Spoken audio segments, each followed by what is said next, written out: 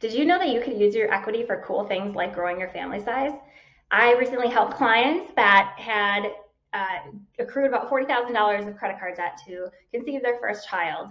And the family had been in the home for 10 years and really loved their home, did not want to move.